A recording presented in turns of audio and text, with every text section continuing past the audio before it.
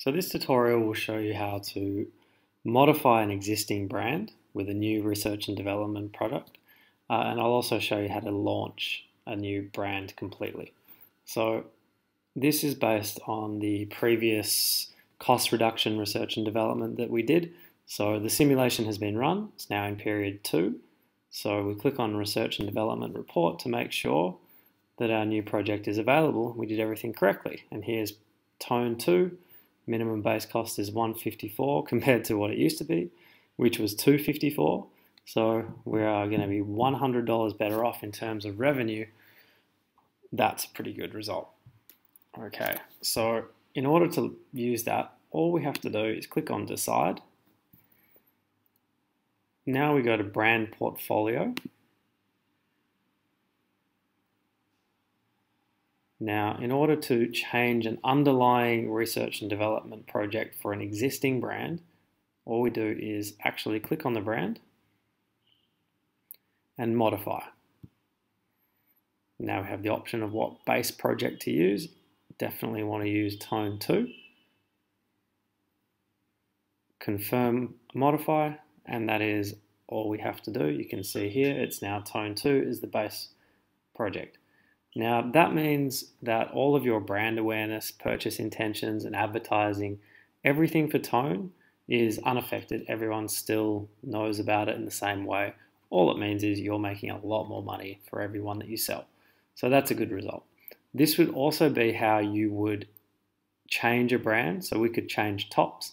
If we had done some research to make a better version of tops, maybe with more power, this is how we would change the underlying research for that as well. Again, we would keep our brand awareness, they would keep knowing everything that they know about the brand, but the product would be better. So if we want to launch a new Sonites brand, that was the second part of this video, simply click launch, choose a brand name. I'm going to call mine Toby.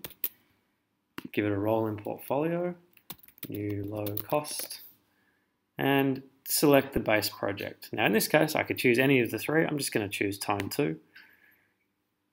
Now the benefit of using the same base project for more than one brand is you'll have cumulative production benefits.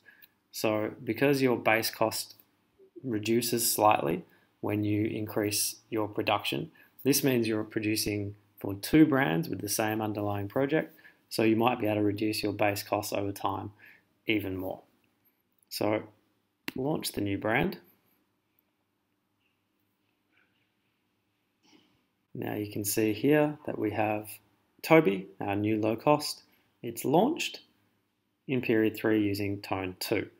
Now it's launched, but it's not yet supported. So you need to go into the marketing mix, also into commercial team and allocate commercial people, but I'll leave that for you to work out.